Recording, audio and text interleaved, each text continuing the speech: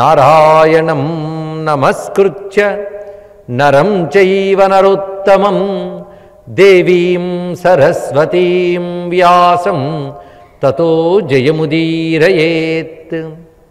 यज्ञेश अच्युतगोविन्द माधव अनन्तकेशव कृष्णविष्णो हृषीकेश वासुदेव नमोऽस्तु ते। వాసుదేవ నమోస్తుతే సచ్చిదానందరూపాయ విశ్వోత్పత్యాదిహేతవే తాపత్రయ వినాశాయ శ్రీకృష్ణాయ నమో నమ. శ్రీకృష్ణాయ నమో నమ. శ్రీకృష్ణాయ నమో నమ. యజ్ఞం అంటే కేవలం అగ్నిహోత్రంలో వేసే నెయ్యి మాత్రమే కాదండి. త్యాగపూర్వకంగా భగవత్ప్రీతిగా భగవద్ ఆరాధనా బుద్ధితో చేసే సత్కర్మనే యజ్ఞం అంటారు. అలాంటి యజ్ఞాలు ఆచరించాడు. భారతీయులు యజ్ఞజీవనులు కావాలన్నాడు భగవద్గీతలో. మనది యజ్ఞజీవనం కావాలి. యజ్ఞంతో బ్రతుకుతున్నామా లేదా? మన జీవనం యజ్ఞమయ్య అవునా కాదా అని పరీక్షించుకోవాలి. భరతుడు అలాంటి యజ్ఞాలు చేస్తూ యజ్ఞం ఎలా చేశాడో వర్ణిస్తున్నారండి ఇక్కడ. అద్భుతమైన భావన ఇక్కడ. ఆయన విష్ణుభక్తుడు. కానీ సర్వదేవతలను ఆరాధిస్తారు. ఇది భారతీయ సంస్కృతి. ఏ దేవతను ఆరాధించినప్పటికీ కూడా ఇష్టదేవతే ఆ రూపంతో ఉందనుకుంటే అదే భారతీయ ధర్మం. ఈ మహానుభావుడు యజ్ఞం విష్ణుస్వరూపమని తెలుసుకుని యజ్ఞం వై విష్ణు కదా యజ్ఞం విష్ణు స్వరూపం అని తెలిసి అని ఏ దేవతకు ఆహుతి వేస్తున్నా ఆ దేవత యొక్క స్వరూపం నారాయణుని దగ్గర ఎక్కడుందో భావన చేసేవట. ఉదాహరణకి ఇంద్రుడు ఇంద్రాయ స్వాహ అంటే ఇంద్రుడు ఎక్కడున్నాడు? నారాయణ బాహువులు ఎందున్నాడు? అలా ఒక్కడు భావన చేస్తున్నాడు. సూర్యాయ నారాయణ నేత్రాలు. ఇలా ఏ దేవతకి అతను చేస్తున్నాడో ఆ దేవత భగవంతుని యొక్క శరీర భాగముగా భావన చేస్తూ తద్భాగంతో విష్ణువిది గ్రహిస్తున్నాడని భావన చేసేవట ఆయన పుచ్చుకుంటున్నాడని అలా నిరంతర విష్ణుభావతో యజ్ఞయాగాది క్రతువులు చేయడం వల్ల ఆయన అత్యంత పవిత్రుడై అంతఃకరణం శుద్ధమై జ్ఞానము వైరాగ్యము నిండుగా పండి ధర్మబద్ధంగా రాజ్యపాలన చేసి తర్వాతి సంతానానికి రాజ్య బాధ్యత అప్పగించి ఆ మహానుభావుడు వానప్రస్థ ధర్మాన్ని స్వీకరించి చక్రనదికి చేరుకున్నాడు. చక్రనది. చక్రనది అంటే గండకీ నది. ఏ నది ఎందు నారాయణుడు సాలగ్రామ రూపములతో లభ్యమవుతూ ఉంటాడో అటువంటి గండకీ నది. ఈ గండకీ నది నేపాల్ దేశంలో ప్రస్తుతం మనకున్నది. ఇది భరతవర్షే భరతఖండేలో ఒక భాగం. అక్కడ ఈ గండకీ నది ఉంది. అక్కడ ఈ మహానుభావుడు ఉన్నాడు. అంతకుముందు పులహుడు పులస్త్యుడు మొదలైన వాళ్ళు తపస్సు చేసిన చోటు పులహాశ్రమం అని పేరు దానికి. అలాంటి చోటు ఉన్నాడు దీన్ని బట్టి భారతదేశ చరిత్రలో ఎన్ని ప్రాంతాలు ఎంతమంది తపస్సుల చేత పవిత్రమయ్యాయో ఆలోచించండి. ఇదంతా కలిపి నా భారతవర్షం భరతఖండం. రాజకీయ విభాగాలు వేరు. శాస్త్రంలో ఉన్న విభాగాలు పరిశీలిద్దాం ఇక్కడ. ఈ విధంగా గండకీ నదీ తీరంలో ఈ మహానుభావుడు అకుంఠితమైన తపస్సును ఆచరిస్తూ వానప్రస్థ ధర్మంతో ఉన్నాడు ఇక్కడ అతని స్థితి ఎలా ఉన్నదంటే సూర్యుడికి అర్ఘ్యప్రదానం చేస్తూ ఉన్నప్పుడు ఆ సూర్యమండలంలో పరమాత్మ జ్యోతిని దర్శించేటండి మహానుభావుడు. మన నిత్యం సూర్యుడిని నమస్కరించేటప్పుడు విశ్వాన్ని నడిపే పరమాత్మ యొక్క తేజస్సే సూర్యమండలం ద్వారా మాకు లభిస్తోంది. ఆయన మా బుద్ధిని ప్రేరేపించుగాక అని రోజు జపం చేయాలి. పెద్దవాళ్ళు చెప్పారు ఇదే గాయత్రి మరొకటి కాదు. ఎవరైనా చేసుకోవచ్చు. యోదేవ సవితాస్మాకం ధియో ధర్మాది గోచరా ప్రేరయేత్తస్య యద్భర్గ తద్వరేణ్యుపాస్మహే. ప్రతివారు జపించదగ్గ గాయత్రి మంత్రం ఇప్పుడు చెప్పినది. దీన్నే సర్వచైతన్య రూపాం తాం ఆద్యాం విద్యాంచ ధీమహి బుద్ధిం యాన ప్రచోదయాత్. ఎలా అనుకోండి? భారతీయ సంస్కృతిలో భగవంతుడు ఒక్కడే. సృష్టిస్థితిలో ఈ కారకుడైన పరమాత్మ. ఆయన నీకెక్కడ దొరుకుతున్నాడు అంటే ఆయన సర్వవ్యాపకుడే. కానీ సర్వవ్యాపకమైన బ్రహ్మమును ఒక చోట పొందాలి మనం. అంతే కదండి? ఇప్పుడు ఆవు పాలు ఇస్తోంది. ఆవు పాలు ఇవ్వాలంటే ఆవంతా ఉండాలి. అంతేగాని పొదుగు ఒక్కటి ఉంటే చాలండి పాలు అక్కడి నుంచే వస్తున్నాయని అంటారా? పొదుగు నుంచి పాలు వస్తున్నా ఆవంతా ఉండాలి. కానీ పాలు కావాలంటే పొదుగే ఇస్తుంది.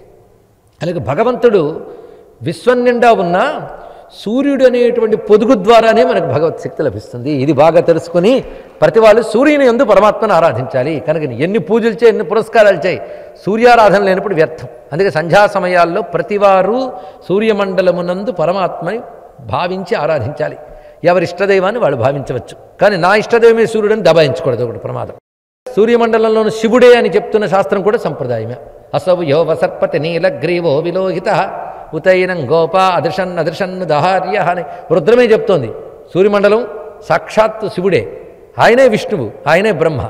ఏదైనప్పటికీ పరమాత్మ ఒక్కడే నువ్వు ఏ రూపంతో కొలుచుకో. అందుకే అతడు ఎవడయ్యా అంటే మా బుద్ధుల్ని ప్రేరేపించేవాడు సృష్టి స్థితిలో కారకుడైన మహా తేజస్సు దానిని నేను ధీమహి ఉపాసిస్తున్నాను అని మొదటి నుండి జపం చేస్తూనే వచ్చేవాడు ఈయన. ఎప్పుడు తన బ్రహ్మచర్యాశ్రమం గృహస్థాశ్రమం అన్ని చేస్తూ వానప్రస్థాశ్రమం వరకు చేస్తున్నాడు. కానీ ఆయన సాధనా బలం ఎంత పెరిగిందంటే ఇదివరకు భావనాత్మకంగా చేసిన ధ్యానం ఇప్పుడు అనుభవంగా మారిపోయింది దానికి ఇది రహస్యం. సూర్యమండలాంతర్గతమైన పరంజ్యోతితో తాదాత్మ్యం చెందిపోయి ఆ చక్రనదిలో ధ్యాన స్థితిలో చాలా కాలం ఉండిపోయేవాడు. అలాంటి ధ్యానం చేసేవాడంటే ఏ స్థితికి వెళ్ళిపోయాడో చూడండి భరతుడు. అంత పవిత్ర చరిత్రుడు అంత నిష్ఠాగరిష్ఠుడు. అలాంటిది ఒకరోజు ఆయన ధ్యానం చేస్తూ ఉంటే ఒక గర్భవతి అయిన లేడీ అక్కడ నీళ్ళు తాగడానికి వచ్చింది. ఈ లోపల అరణ్యంలోంచి సింహగర్జన వినబడింది. వినడగానే భయపడి ఒక దుముకు దుముకింది. ఆ దుముకినప్పుడు ఆ వేగానికి ఆ తల్లిలేడి మరణించింది. పిల్లలేడి ఆ గర్భం నుంచి బయటపడి నీటిలో తేలియాడుతుంది. వెంటనే ఇతను చూసి ప్రాణం రక్షిద్దామని తీసుకుని బయటకు తెచ్చాడు. అంతవరకు పర్వాలేదండి. ఇతరులపై దయ చూపించుట వాళ్ళని రక్షించుట వరకు పర్వాలేదు. దాని పేరు ప్రేమ దయ అనొచ్చు. కానీ దానితో రాగం ఏర్పడకూడదు. రాగానికి ప్రేమకి ఇది తేడా. దయ చూపించడం చాలా ప్రధానమైన అంశమే. రాగం ఏర్పడరాదు రాగం ప్రమాదం మోహం ప్రమాదం. మోహానికి ప్రేమకున్న తేడా తెలియండి మనం ఇప్పుడు మోహానికే ప్రేమని పెట్టేసుకుని నాన్న పతనం అయిపోతున్నాం. అవతల వాళ్ళ చూపట్ల దయ కలిగితే చాలా గొప్ప గుణమే. కానీ దయ మోహంగా మారరాదు. దయ అటాచ్మెంట్ కాకూడదు. ఈ మహానుభావుడు ఆ లేడి పిల్లని రక్షిద్దామని సాకినవాడు కాస్త క్రమంగా దానితో మోహం పెంచుకున్నాడు. బంధం ఏర్పడిపోయింది. ఇంకా అదే ప్రపంచం అయిపోయిందిట. ఎలా మారిపోయిందంటే ఎక్కడ దాకా వెళ్ళిపోయాడండి? సూర్యమండలాంతర్గతమైన పరమాత్మతో కూడా తాదాత్మ్యం చెందిపోయాడు యజ్ఞయాగాలు అలా చేసినవాడు. అంత స్థితికి వెళ్ళిన వాడు కూడా మోహానికి లొంగిపోయాడంటే ఎంత జాగ్రత్తగా ఉండాలో ఇతరులు అనేది ఇందులో మనం నేర్చుకోవాల్సినటువంటి గొప్ప పాఠం. మొత్తానికి ఆ లేడి పిల్ల పెరుగుతూ ఉంటే ప్రేమ కూడా పెరిగిపోతుంది. ఆ లేడి పిల్ల లేకుండా క్షణం ఉండలేకపోతున్నాడు. అదొకవేళ కనబడకుండా వెళితే ఎటుపోయిందో ఏంటో ఏ లేడు ఏ పులి తినేస్తుందో ఏ వలలో చిక్కుకుందో అని భయం పుట్టుకుంటుంది. దాంతో జపం మీద ఏకాగ్రత లేదు ధ్యానం మీద ఏకాగ్రత లేదు. ఒక తాడుతో కట్టి దగ్గర పెట్టుకున్న జపం చేస్తూ మధ్యలో చూసేవట. ఏమిటి స్థితి? ఎలాంటి మారిపోయింది మొత్తం?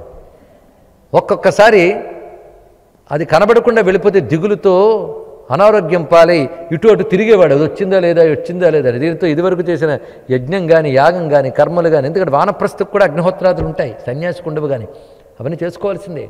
కనుక అవన్నీ కూడా హుళక్కి అయిపోయాయి. ఏకాగ్రత లేదు మనసు నిలవడం లేదు. ఈ క్రమంలో ఒకసారి అది ఎక్కడికి వెళ్ళిపోయింది మరి కనబడలే. ఎదిగిన తర్వాత ఒక చోటు ఉంటుందా? ఇంకెనికి అంత బెంగ పట్టుకుందంటే ఇంకా కలవరించడం మొదలుపెట్టాడు. ఈ భూమికి అందం ఎప్పుడు వచ్చిందంటే ఆ లేడి పిల్ల నడిచినప్పుడే. ఇలాంటి మనం వింటూ ఉంటాం వీటిని పైచ్య కవిత్వం అంటుంటారు నువ్వు అడుగు పెట్టడం వల్లే భూమి పవిత్రమైపోయింది అసలు నీ కోసమే సూర్యచంద్రులు ఉన్నారు నువ్వే సర్వస్వం ఇలాంటి వింటూ ఉంటాం కదా ఇలాంటి పైత్యమే దీన్ని మోహ కవిత్వం అంటారు కానీ మోక్ష కవిత్వం అంటారు తెలుసుకోండి ఈ ప్రమాదం. మొత్తానికి ఇలా అనుకుంటున్నాడు అసలు చంద్రుల్లో లేడి ఉంటుందంటారు కదా మృగాంకుడు బహుశా ఈ లేడి పారిపోయింది అనుకున్నాను అక్కడ ఉందేమో అనుకున్నట్ట. చూసారు అంతా రామమయంలాగా అంతా లేడిమయం అయిపోయింది నిరంతరం ఏది చింతన చేస్తే అదే ప్రపంచమంతా కనబడుతుంది. కళ్ళు తెరిచినా నువ్వే కళ్ళు మూసినా నువ్వే అంటూ ఉంటాం కదా ఆ స్థితి ఏర్పడింది. ఇది పరమాత్మతో అంటే బాగుండేది. మోహంతో పెట్టుకున్నాడు. ఈ నిరంతర చింతన ఈ చింతనతోనే అవసాన దశ జరిగిపోయింది. దీని ఫలితంగా ఒక లేడి పిల్లగా పుట్టాడు మహానుభావుడు. ఏమి హెచ్చరిక చెప్తున్నాడో చూడండి. ఏది ఆలోచిస్తూ శరీరం విడిచిపెడతావో అదే నువ్వు అవుతావు అన్నాడు. ఇది విడిచేటప్పుడు ఆలోచిద్దామంటే సరిపోదు. ఇక్కడ ఇప్పటి నుంచి ఆలోచిస్తేనే అక్కడికి వస్తుంది. ఇవన్నీ ఉంటుంది ఇక్కడ. నిరంతర చింతనే ఆఖరికి మిగులుతుంది. ఆ లేడి పిల్లగా పుట్టాడు. కానీ ఇన్నాళ్ళు జన సాధన ఏమైపోయింది? అయ్యో అంతా పోయిందనగా లేదు. వ్యర్థం కాదు. అది తెలుసుకోండి. భగవంతుడి గురించి చేసిన సాధన వ్యర్థం కాదు. తర్వాతి జన్మలో అతనికి జాతస్మృతి కలిగింది. జాతస్మృతి అనేది ఒక ప్రత్యేకమైన అనుగ్రహం. ఇది ఒక యోగం. అదేమిటయ్యా అంటే గత జన్మ గుర్తొచ్చింది. గుర్తున్నది. కనుక ఇప్పుడు లేడి శరీరంతో తానున్నా తానేమిటో తనకు తెలుసు. తన భరతుడు. ఆ పరమాత్మని సూర్యమండలంలో కూడా దర్శించి అనుభవం పొందగలిగిన మహాత్ముడు. అది తెలుసు. ఆ బుద్ధి జ్ఞానం అలాగే నిలిచిపోయింది. దేహం మాత్రం లేడి దేహం. కాబట్టి ఆ మహానుభావుడు ఏం చేశాడంటే మళ్ళీ ఆ పులహాస్త్రవం దగ్గర తాను తపస్సు చేసిన చోటుకే వెళ్ళేవాడు. ఇప్పుడు అక్కడే బ్రతికాడు. ఆ జన్మలో మాత్రం ఏ జంతువుతో కానీ ప్రపంచంతో కానీ సాంగత్యం పెట్టుకోకుండా దొరికిన తింటూ యోగంతో అలాగే గడిపాడు ఇక్కడ మొత్తం కూడా. ఎందుకంటే సాంగత్యం వచ్చిందా మళ్ళీ మనస్సటు పోయి మళ్ళీ ఎటు తీసుకెళ్తుందో? కనుక ఆయన తత్వచింతన చేస్తూ లేడిగా అలాగే మిగిలి ఆ శరీరం పోయింది. ఆడ తర్వాత ఒక వేదవేత్తలు ఇంట పుట్టాడండి. కానీ పుట్టిన దగ్గర నుంచి మహానుభావుడు ఎలా ఉన్నాడంటే ఇక్కడ గమనించవలసినది సిద్ధుడై పుట్టాడు పుట్టి సాధన చేయలేదు ఇక్కడ. పుట్టుకతోనే సిద్ధుడైపోయాడు జీవన్ముక్తుడైపోయాడు మహానుభావుడు ఇక్కడ. కనుక శరీరం ధరించి ఉన్నాడు ప్రారంధవశాత్తు ప్రారంధం బట్టి శరీరం వస్తుంది. కానీ బుద్ధి స్థాయి ఎక్కడున్నదంటే బ్రహ్మముతో తాదాప్త్యం చెంది ఉంది. కానీ శరీరంలో ఉంటూనే శరీరము నేను కాదనే పరిపూర్ణ జ్ఞానం కలిగి తనలో సర్వత్రా వ్యాపించిన బ్రహ్మమే తాను. అహం బ్రహ్మాస్మని స్థితిలో ఉంటూ ఆ బ్రహ్మతాదాత్మ్యంతో ఉన్నాడు. ఆ స్థితికి వెళ్ళిన వాడికి మంత్రమక్కర్లే జపమక్కర్లే ఏమి అక్కర్లే. ఎవరికి? ఆ స్థితికి వెళ్ళిన వారికి. అది గుర్తుపెట్టుకోండి ఇక్కడ. నిస్త్రైగుణ్యే పతి విచరతే కోవిధిక్కో నిషేధ. నిస్త్రైగుణ్యే పతి విరిచి త్రిగుణాతీత స్థితికి వెళ్ళిపోయాడు అతను. ఆ స్థితిలో ఉన్నాడు. కొంతమంది సిద్ధ పురుషులు ప్రారంధవశాత్తు శరీరం పొందినా జీవన్ముక్తులే ఉంటారు. అది ఇక్కడ ఆ జీవన్ముక్త అవస్థలో ఉన్నాడు. అందుకని సకాలంలో తండ్రి ఉపనయనం చేసి మంత్రం చెప్పబోతే ఏమీ అర్థం కానిట్టే ఉన్నట్టు ఆయన తిరిగి ఉచ్చరించలేదు. వేదం చెప్పబోతే పలకలేదు. అంటే వేదాదులు కూడా అవసరం లేని స్థితి గలిపాడు. అందుకే త్రైగుణ్య విషయా వేదాహ నిస్త్రైగుణ్యో భవార్జున అన్నాడు కదా కృష్ణ పరమాత్మ. అసలు ఆ స్థితిని ఆలోచించడం ఆశ్చర్యం అండి ఆ స్థితిలో ఉన్నవాడు. అందుకే చూడ్డానికి మూర్ఖులు ఒకలా కనబడతారు యోగులు ఒకేలా కనబడతారు. కానీ వాళ్ళిద్దరి మధ్య హస్తిమశగా అంతరం ఉంటుంది ఇక్కడ. అతడు ఏ కర్మలు చెయ్యలేడు యోగికి ఏ కర్మలు అవసరం లేదు. అది తెలుసుకోవాల్సింది ఇక్కడ. కర్మలన్నీ చెయ్యగా చిత్తశుద్ధి రాగా ఏ జ్ఞానం లభిస్తుందో ఆ జ్ఞానమే ఆయన దగ్గర ఉన్నప్పుడు ఇవన్నీ ఎందుకండి ఇక్కడ? అందుకు ఆ మహానుభావుడు అలా ఉన్నాడు. పైగా ఆయన స్థితి ఎవరికి అర్థం కావట్లేదు. అందరూ ఏమనుకున్నాడు? జడుడు అనుకున్నారు. జడుడు. అందుకే మనం గుర్తుపెట్ట కోసం ఈ జడుడు ఆ భరతుడైన గుర్తుపెట్టు కోసం జడభరతుడు అంటున్నాం మన ఆయన అంతే ఇక్కడ. ఇప్పుడు ఈ జన్మలో ఆయన పేరేమిటో రాయలేదు. ఎందుకంటే నామరూపాభిమానం లేని వాడికి ఏ నామం పెడతాడండి అందుకే ఏ పేరు పెట్టలేదు ఇక్కడ. కనుక జడీభూతుల్లా కనబడుతున్నాడు. బాలోన్మత్త పిశాచవత్ మహాత్ములు జడుల్లా కనబడతారు కదా అలాగే కనబడుతున్నాడు ఈయన. అందరూ జడు అనుకున్నారు. అనుకున్న ఆయనకు బాధ లేదు. అయ్యో నన్ను అందరూ జడ్డు అనుకుంటున్నారే? నా గురించి ఎలా తెలుస్తుంది? అనుకుంటే ఆయన ఇంక జీవనముక్తులు ఎలా అవుతాడు? ఆ స్థితి ఆయనది. అటువంటి స్థితిని ఊహించడం కూడా కష్టమండి. ఇక ఎప్పుడైతే ఆయన విద్య వంట పట్టదో అని తెలుసుకున్నాడో వాళ్ళ నాన్న మరొక ఆమెను పెళ్ళాడి ఆమె ద్వారా సంతానం కన్నట్ట. ఆ సంతానం తెలివితేటలు పాండిత్యం అన్నీ ఉండి యజ్ఞయాగా అది క్రతువులు చేయగలిగే సమర్థులు వేద పండితులు అయిపోయారు ఈయన మాత్రం జడుడే. ఈయన మరణించాడు. ఆఖరికి ఈయన కన్న తల్లి కూడా సవత్తలకు అప్పగించి ఆమె పోయింది. ఇంకా వాళ్ళందరూ కూడా ఇతడిని పంపించలేదు. పనికొస్తాడని పెట్టుకున్నారు. ఏ పనైనా చేస్తాడు అతనికి అదొకటి. ఉచ్చ నీచాల్లో ఏ పనైనా చేస్తాడు. అదిగో బండరాయి మోయి మోస్తాడు. పువ్వులు తీసుకురా తెస్తాడు. ఏ పనైనా చేస్తాడు. ఎవడు చెప్పినా చేస్తాడు. ఆకలి శరీరానికి వేసినప్పుడు ఏది పెడితే తినేస్తాడు. ఆ పెట్టింది మంచిగా రుచిగా ఉందా? ఉడికిందా? మాడిపోయిందా? ఇవేవి చూడట. క్షుద్వ్యాధిత్య చికిత్సతాం అని చెప్పినట్లుగా ఆకలి వేసినప్పుడు ఏది పెడితే తినేస్తాడు అంతే ఇక్కడ. ఏ పని చెప్పినా చేస్తాడు. ఇదేదో బాగానే ఉంది దానితో వాడిని పిలిచే పిలుపులు రకరకాలుగా మారిపోయి ఓ చెవిటోడా అని కొందరు పిలుస్తారు. ఓ పిచ్చోడా అని కొందరు పిలుస్తారు. ఓ బండోడా అని మరి కొందరు పిలుస్తారట. ఎలా పిలిచినా ఆయన తన పిలుస్తున్నారని తెలిస్తే తప్పకుండా పలికి వాళ్ళకి చెప్పించేసేస్తున్నాడు ఇలా ఉంటున్నాడు. ఆయన స్థితి సామాన్యులకు అర్థం కావట్లేదు. మసి కట్టిన మాణిక్యంలో ఉండిపోయాడండి జీవనం జ్ఞానిని అర్థం చేసుకోవాలంటే మళ్ళీ అంత స్థితి ఉండాలి. అది అందరికీ తెలియదు కదా. ఇలా ఉంటున్న దశలో ఒకసారి ఆయన పొలం దగ్గర కూర్చుని ఉన్నాడు. కాపలా పెట్టారు. ఇలాంటి పనులకి ఇంత బండ శరీరం అక్కడ కూర్చుంటే ఎవడు రావడానికి కూడా భయపడతాడు. కానీ బాగున్నాడు అలంకారప్రాయంగా. ఆయన అక్కడ పెట్టారు. ఈ లోపల దగ్గరున్న ఆటవికులు కొంతమంది వాళ్ళ ప్రక్రియలో వాళ్ళు సంతానం కోసమని ఆటవికుల రాజు ఒక నరుని బలిగిద్దాం అనుకున్నాడు. ఆ వెతుకులాట్లో ఈయన బాగా కనబడ్డాడు. మంచి పుష్టిగా ఎక్కడ అవయవ లోపంలో లేకుండా బాగున్నాడు. ఈయన బలిస్తే చాలా బాగుంటుందని ఈయన తీసుకొచ్చేటండి వెళ్ళాడు ఈయన. చక్కగా స్నానం చేయించి ఒళ్ళంతా పసుపు రాసి కుంకాలు పెట్టి అక్కడ యూపస్తంభానికి కట్టి అని ఊరేగింపుగా తీసుకెళ్ళారు. వాళ్ళు పూజించుకునేటువంటి కాళీదేవి గుడికి. నేను సిద్ధమే. మహాత్ములు అలా ఉంటారు. అన్నమయ్య ఈ స్థితినే వర్ణిస్తూ అంటాడు. పట్టము కట్టే వేళ పట్టి చంపే వేళ అట్టు నిట్టు చలించని ఆతడే సుఖి అటువంటి వాడువో హరిదాసుడు. పట్టాభిషేకం చేస్తానన్న ఒకేలా ఉంటాడు. చంపేస్తామన్నా అలాగే ఉంటాడు. వాడికి ఎందుకు? శరీరం నేను కాదనే జ్ఞానం కలిగిన వాడు కనుక. ఎప్పుడైతే అతను నా విధంగా చేసి మందిరానికి తీసుకెళ్ళారో ఇంకా బలి ఇద్దామని చెప్పి బలిపీఠం దగ్గర ఖడ్గాన్ని ఎత్తారని. అక్కడుందే కాళీమాత ఆవిడ ఇంక నిలవలేకపోయింది ఒక్కసారి. ఆ విగ్రహంలోంచి ఒక్కసారి వెలికి వచ్చింది. మహాత్ములకు అవమానం జరిగితే దేవతలు తట్టుకోలేరు అది తెలుసుకోవాల్సింది ఇక్కడ. వెంటనే అందులోంచి బయటకు వచ్చి ఆ తల్లి కరాళ నృత్యం చేసింది తన గణములతో. చేసి ఆ ఖడ్గం తీసుకుని ఎవరైతే బలి ఇవ్వడానికి వచ్చారో వాళ్ళని సంహరించింది మొత్తం. సంహరించి మహాత్ముని విడిపించి దండం పెట్టింది. అంటే బ్రహ్మవేత్తకి దేవతలు కూడా దండం పెడతారు చూడండి. బ్రహ్మవేత్తను అర్థం చేసుకోవడమే మహా కష్టం. అలాంటి బ్రహ్మవేత్త ఒక్కడు దొరకడం మహా కష్టం. ఇది బ్రహ్మవేత్త. జడుల్లో ఉన్నాడు కనుక జరభర్తుడు. పేరు వ్యవహారం కోసం మనం చెప్పుకుంటున్నాం. విడిచిపెట్టేశారు. మామూలుగా వచ్చాడు ఇది ఇది పట్టలేదు అది నా కోసం అమ్మవారు వచ్చారు కూడా అనుకోలేదు. మహానుభావుడు ఇక్కడ. మళ్ళీ యథాప్రకారం. ఇలా వెళుతున్న సమయంలో ఒక రాజు ఉన్నాడు రహుగణుడు అనేటువంటి ఒక రాజు పల్లకీలో వెళుతున్నాడు. ఆ బోయిలు మోస్తూ వెళుతున్నారు. దాని ముందు ఒక నియామకుడు ఉంటాడు. వాడు చూశాడు ఒక బోయి ఎవడో తగ్గాడు. కనుక ఎవరైనా పనికొస్తాడు ఎవడైనా బోయికి దొరుకుతాడేమో అని చూసేట ఈయన ఒక చోట కనబడ్డాడు. బాగున్నాడు విగ్రహ పుష్టి. తీసుకొచ్చి బాబు నువ్వు బోయిగా ఉంటావా? నీకు ఇంత డబ్బు ఇస్తాం సరే అన్నాడు ఆయన. బోయిల్లో ఒకడయ్యాడు. కానీ బ్రహ్మవేత్త కనుక జాగ్రత్తగా అడుగులేస్తున్నట్టయి తన పాదాల కింద ఏ పురుగు ఏవి నలిగిపోకుండా వాళ్ళకి. సర్వత్రా ఆ చైతన్యాన్ని దర్శిస్తూ ఆ చైతన్యం కలిగిన ఉపాధులకు ప్రమాదం కలగకుండా. ఆ వెళుతూ ఉండడంతో నడక తగ్గింది. వెంటనే ఈయన ఏంటి నడక తగ్గిందని అడిగట పల్లకీలోంచి. మేం బాగానే ఉన్నాం కానీ కొత్త బోయి వాడున్నాడే వాడు సరిగ్గా వెళ్ళట్లేదన్నట్ట. వెంటనే కొత్త బోయి ఎవడైనా పల్లకీలోంచి తొంగి చూశాడు ఆయన. చూసి చూడ్డానికి ఆయన బక్క పీనుగా ఏం కాడు ఇంత గట్టిగా ఉన్నాడు. కనుక ఏరా బాబు ఓహో తమరు చాలా సన్నంగా ఉన్నారు కదా. పాపం తిండి తిని అన్నాళ్ళయిందో ఏమిటో. మొయ్యలేకపోతున్నారు పాపం. అసలు మీకు శరీరం ఉందా లేదా అని వేళాకోళంగా అన్నాడు అతను. రాజు అనగానే ఇలా చూసి అన్నట్ట. నువ్వన్నది నిజమే. మోస్తున్నది నేను కాదు. బక్కతనం కానీ దుఃఖతనం కానీ ఈ రెండూ నేను కాను తెలుసుకో ఇక్కడ. ఒక శరీరం ఒక కట్టె పైన కూర్చుంటే మరో కట్టు మోస్తుంది అంతే ఇది తెలుసుకున్నట్టు. ఎంత అద్భుతమైన మాట. ఒక కట్టెకి రాజు అని పేరు ఒక కట్టుకి బోయి అని పేరు. ఇదే ఎప్పుడు ఉంటుంది అనుకోకు. ఒక్కొక్కప్పుడు అటు ఇటు తిరుగుతాయి. తెలుసుకో ఇక్కడ. కనుక నీది స్థిరం కాదు ఇది స్థిరం కాదు. ఇది అటు ఇటు కూడా అవుతుంటాయి. నువ్వు చేసుకున్న ఒకానొక పని వల్ల రాజు అని పేరుతో అక్కడ కూర్చున్నావు. ఒక పని వల్ల నేను ఇక్కడ కూర్చున్నా. కానీ భేదం కట్టెలోనే చైతన్యంలో లేదు. నువ్వు అన్నట్టు నిజమే. స్థూలమైనది సన్నబడేది నేను కాదు శరీరం. అది నేను కాదు. తెలుసుకో ఇక్కడ. కనుక నువ్వు బలిసి ఉన్నావా పీవరుడు అంటే బలిసి ఉన్నావా సన్నగా ఉన్నావా అని ప్రశ్నించేవే రెండు నావికో రెండు శరీరానివే.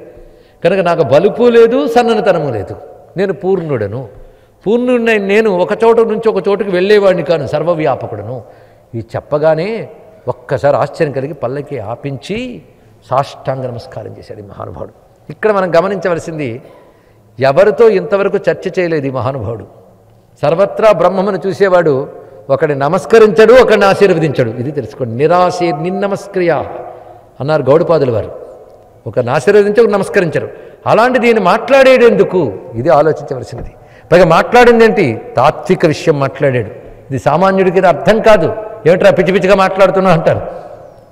అంటే ఈ జ్ఞానం గ్రహించడానికి యోగ్యుడు ఆ రహుగణుడు గనక ఈ మహాత్ముని నోట ఆ మాట పలికింది. ఇది రహస్యం ఇక్కడ. రహుగణుడితో ఎప్పుడైతే చెప్పాడో వెంటనే రహుగణుడు వివేకవంతుడు. గురువుల ద్వారా శాస్త్రములన్నీ అధ్యయనం చేసినవాడు. తెలుసుకుని బ్రహ్మము గురించి అనుభవం కలిగిన వారి ద్వారా తెలుసుకుందామని కపిలాచార్యుని దర్శించడానికి బయలుదేరుతున్నట్టు ఆయన. అందుకు ఆయన ప్రయాణం అటు.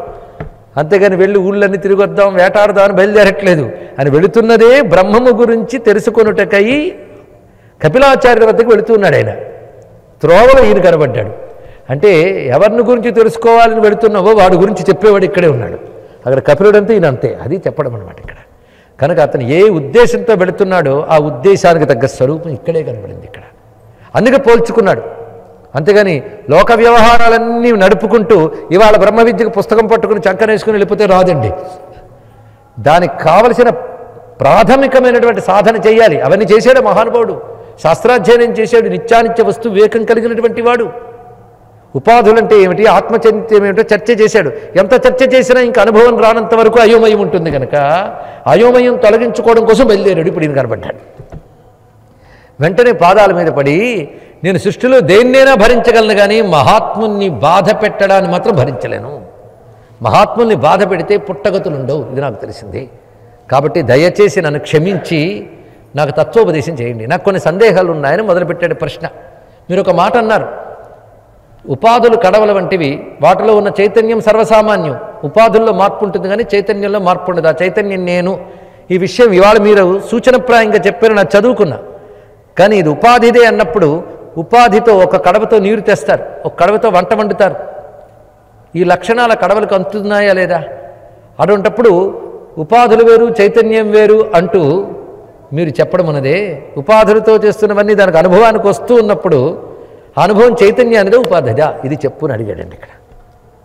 ఇప్పుడు నేను అవన్నీ వివరించాం కానీ ఆయన అక్కడి నుంచి చర్చ చేసి కొన్ని అధ్యాయాలు జడభరతుడు రహుగడునికి చేసిన అద్భుతమైన ఉపదేశం. వెంటనే కోపంగా మాట అంటాడు. ఏమీ తెలియకపోయినా అన్నీ తెలిసి వచ్చినట్టు వేదాంతం మాట్లాడుతున్నవి ముందు నోరు మూసుకో అన్నాడండి ఇక్కడ. అంటే బోధన అనేక రకాలుగా చెప్పచ్చు. కోపం జడభరతుడికి కాదు. చెప్పే విషయం అలా చెప్తున్నాడు ఇక్కడ. అందుకే తెలిసి తెలియని మాట్లాడుకుని ఆయన. ఉపాధితో తాదాత్మ్యం చెంది ఉన్నది మనస్సు. మనస్సుకి ఉపాధికి కూడా చైతన్యం ఇచ్చేవాడు పరమాత్మ. ఆయనకి రెండు అంటాం. తెలుసుకో ఇక్కడ. అంటూ ఒక కడవలో నీరున్నప్పుడు ప్రతిఫలించే సూర్యుని వల్ల దానికి వేడి వెలుగు రెండు అంటుతాయి. దేనికి? నీటికి. ఆ లక్షణం కడవకి కనబడుతుంది. కానీ ఆ వేడి వెలుగు జలానికి కుండకి అంటిందే కానీ కుండ యొక్క లక్షణం కానీ జల లక్షణం కానీ సూర్యుడికి అంటది కదా. అదేవిధంగా సర్వమునందు వ్యాపించున్న పరమాత్మకి ఇవేవి అంటవు అని మొదలుపెట్టి ఇది గ్రహించలేకపోతున్నాడు మానవుడు ఎందుకు అంటే శరీరం నేననుకోవడం వల్ల శరీరంతో ఏర్పడిన బంధములే సత్యములు అనుకుని వాటి కోసమే ఆయువు బుద్ధిశక్తి శరీర శక్తి వినియోగించి వినియోగించి సత్యం తెలుసుకోవడం కోసం వాడుకోలేదు. దీనివల్ల అతడు సంసారమైన కేకారణ్యంలో చిక్కుకుపోయి సత్యానికి దూరమయ్యాడు అని బోధించాడు అద్భుతమైన బోధ. దీనికి సంతోషించి మహానుభావుడు రాహుగణుడు ధన్యుడై రూపం ఏదైనా కావచ్చు కపిలుడు కావచ్చు జరభర్తుడు కావచ్చు జ్ఞానం రెండు ఒకటే. కంటైనర్ కాదు కంటైన్డ్ ఏంటో చూడు ఇక్కడ. ఆ జ్ఞానం ఈ విధంగా లభించగానే ధన్యుడయ్యాడు రహుగణుడు ఇలా ధన్యుణ్ణి చేసినటువంటి జరభరతుని యొక్క దివ్య చరిత్రని అంత రమ్యంగా వివరించి ఆ జడభరతుని చరిత్ర వింటే చాలా ధన్యులు అవుతారని చెప్తే ఒక మాట అంటాడండి సుఖయోగింద్రుడు సమస్త విశ్వంలో ఒక భూమి ఎందే కాదు సమస్త లోకాలలో ఉన్నటువంటి లోకపాలకులు కానీ చక్రవర్తులు కానీ వీరందరిని ఒక దగ్గర తెచ్చిన జడభరతుడితో సరిపోరు. ఇది ఎలాంటిదంటే గరుత్మంతుడి ముందు ఈగలులా ఉంటారు వీళ్ళందరూ కూడా అన్నాడు. అత్యద్భుతమైన మాట. అది జడభరతుని యొక్క అద్భుతమైన చరిత్ర. ఈ విధంగా వివరించి విశ్వగోళ విశేషాలు చెప్తున్నాడు. మహానుభావుడు సుఖయోగింద్రుడు ఇది చూస్తే అనంతమైన విశ్వంలో ఎన్ని రకాల లోకాలు ఉంటాయి ఇవన్నీ తెలుస్తాయి. ఎప్పుడైతే అనంతం గురించి ఆలోచిస్తామో మన అల్పత్వం అర్థమే అహంకారం పోతుందండి. అందుకే ఈ వర్ణనలన్నీ తెలుసుకోవాలి. నేనెంత? ఈ చిన్న ప్రపంచం పట్టుకుని పెద్ద విర్రవీగిపోతున్నామే. ఎన్ని లోకాలు ఎన్ని రకాల అవస్థలు? ఇప్పుడు చేసిన కర్మలకి పుణ్యకర్మలకు పుణ్యలోకాలు పాపకర్మలకు పాపలోకాలు ఇవి అనుభవించక తప్పదు. కనుక ఇవి నవ్వుతూ చేసిన దానికి ఏడుస్తూ అనుభవించక తప్పదు నాయనా. అలా ఏడుస్తూ అనుభవించే నరకాలు ప్రధానంగా ఇరవై ఒకటి చెప్పారు. ఇంకా చాలా ఉన్నాయిలే అని ఇక్కడ. అవన్నీ ఉన్నాయని నమ్మనండి అంటే ఇప్పుడు తెలియదులే తర్వాత తెలుస్తుందని చెప్పాడు ఇక్కడ. చేసుకున్న దానికి అనుభవించక తప్పదు. పైగా అందులోకి వెళ్ళడానికి తగిన పనులు చేసి నువ్వు సుఖాలని ఆకాంక్షించడం చాలా తప్పు. అవునా లేదా అండి ఇక్కడ? చేసిన పనులన్నీ కూడా నరకానికి పనికొచ్చే పనులు. కోరుకునేది మాత్రం స్వర్గ సుఖాలు. ఎలా అవుతుంది చెప్పు నీకు? కనుక మానవుడికి జీవితం పొందిన తర్వాత ప్రతి క్షణం కూడా పాపములు చెయ్యకుండా ఉండడానికి ప్రయత్నించాలి. కానీ తెలుసో తెలియకో తెలిసి తెలియకో పాపాలు చేస్తూనే ఉంటాం. వాటి కోసం ప్రాయశ్చిత్తాలు చేసుకోవాలి. అందుకే శాస్త్రం అనేక రకాల యజ్ఞాలు క్రియలు ఉదయం లేచిన దగ్గర నుంచి కొన్ని అనుష్ఠానాలు ఎందుకు చెప్తుందంటే నిత్యం తెలిసి తెలియక చేసిన పాపాలు పోవడానికి. నాకు ఇవాళ తీరిక లేదండి అనుష్ఠానం చేసుకోలేపనంటే దానివల్ల ఎవరికీ నష్టం లేదు నీకే. అంటే ఇవాళ నువ్వు శుద్ధి చేసుకోవడానికి ఒక పని చేయలేదు అన్నమాట ఇక్కడ అరే రోజు పట్టిన మాలిన్యం కోసం స్నానం చేయట్లేదు. మరి రోజు పట్టిన మనస్సుకు పట్టిన పాప మాలిన్యం కోసం సత్కర్మలు ఆచరించవద్దు. అదే శరీరానికి స్నానం ఎంత అవసరమో నిత్యానుష్ఠానం అంత అవసరం. ఏదన్నాత్ కృతే పాపం తదన్నాత్ ప్రతిముచ్యత. ఇది పెద్దలు చెప్తున్నది ఇక్కడే.